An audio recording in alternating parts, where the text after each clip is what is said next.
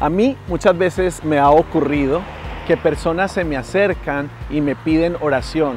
Estas son sus palabras. Pastor, ore usted porque usted Dios lo escucha. Ore usted porque usted Dios lo oye de una forma especial.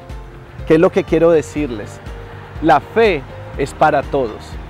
Jesús también enfrentó esto con sus discípulos. Ellos vieron a Jesús moverse en liberaciones, en sanidades, en milagros y una vez intentaron liberar a un muchacho que estaba endemoniado.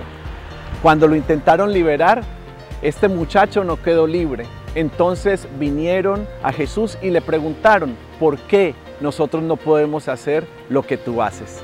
Y Jesús le respondió, se trata de tener la fe para poder hacerlo.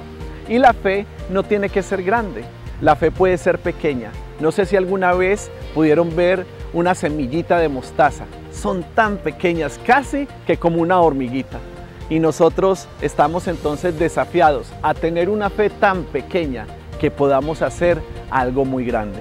¿Qué tal si nos preparamos durante este ayuno para ser empoderados con fe? No fe para las circunstancias del momento. ¿Qué tal si Dios nos está dando la fe necesaria ahora para lo que vamos a enfrentar mañana? para lo que vamos a enfrentar en tres meses, para lo que vamos a enfrentar durante este año.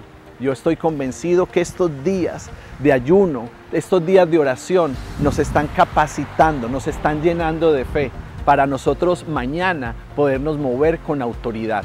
Nada os será imposible, nada os será imposible. Y hablando de espíritus y hablando de demonios que pueden atormentar a las personas, hay unos que solamente salen con ayuno y oración. Eso respondió Jesús. Así que estoy convencido que en este tiempo hay espíritus que están siendo liberados en las personas que están haciendo este ayuno. Lo creo, lo digo por fe. Yo espero que tú tengas esa misma fe, tan pequeña como un grano de mostaza, hasta para decirle a un monte que se mueva de aquí para allá y ese monte se moverá. Nos estamos llenando de fe no para el ahora, no para las circunstancias del momento.